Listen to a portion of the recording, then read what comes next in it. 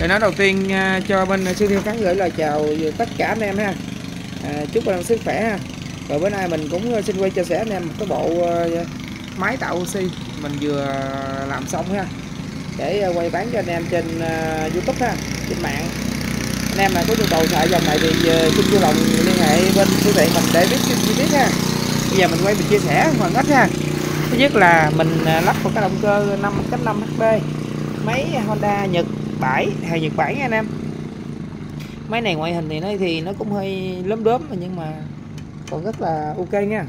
Máy thì mình bán anh em mình bao không ăn nhất máy khởi động nhẹ nhàng.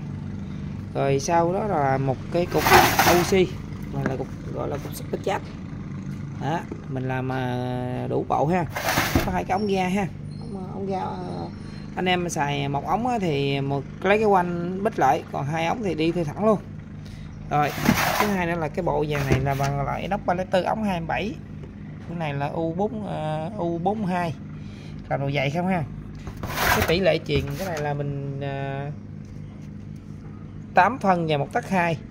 Cho mấy máy chạy cái lượng ga ít nhẹ là nó đã có hơi nha anh em. À, máy thì quay cho anh em xem ha. Con máy này thì mấy bãi về mình cũng không có dọn rửa vậy nha anh em.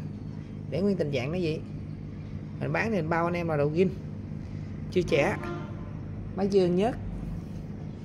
Rồi bây giờ mình quay qua vòng nữa thì mình test máy ha. Cái này cái video này mình xin quay ngắn ha. Để cho anh em xem rồi à, từ khi giữ chốt cho hàng anh em. Đây.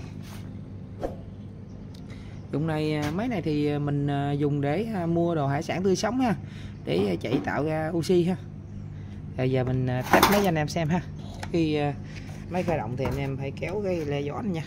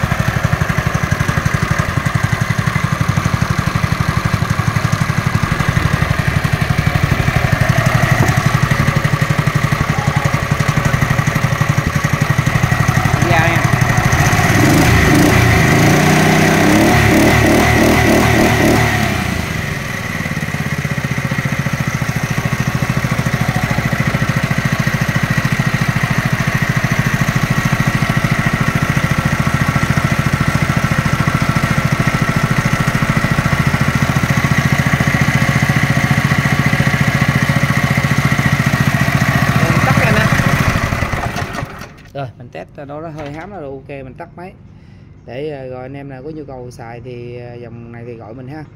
Rồi giá cả thỏa thuận là mình ship nha anh em.